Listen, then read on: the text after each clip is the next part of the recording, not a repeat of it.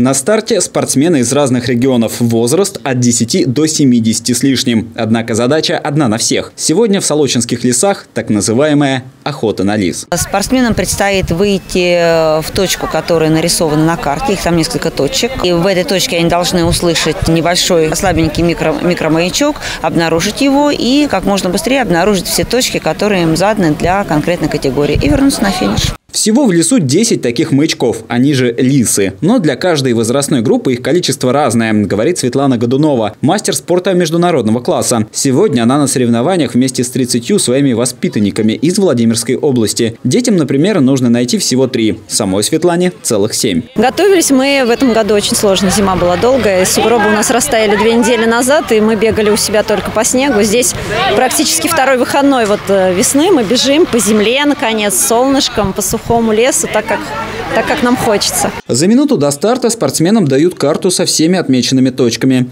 По ней радиоищейкам и предстоит найти все свои точки. На каждый установлен маячок, а у поисковиков – считывающее устройство. Задача – зачекиниться на всех локациях и прибежать на финиш. Там уже с маячка считывают информацию обо всех пройденных точках и общее время. Результат попадает в финишную таблицу. Соболин Сергей, Московская область, 54-28, новый лидер группы М50. Сергей Соборин не профессиональный спортсмен, а любитель. Хотя и приезжает в Рязань из столицы уже 30 лет. Зато любитель показал хороший результат, лучший в своей группе. Пока что. Здесь очень тяжелая почва для меня, это, это песок. Здесь везде песок, но лес в основном хороший. И местами тяжело, местами бежится отлично.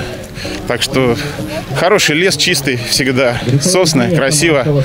Получаешь удовольствие. За четыре дня спортсмены выполнили несколько дисциплин. Однако радиоориентирование считается самым сложным. Это комбинация между классической радиопеленгацией и спортивным ориентированием. Победителей этого нелегкого соревнования ждут призы и спортивные разряды. Валерий Седов, Дмитрий Ефимов, телекомпания «Город».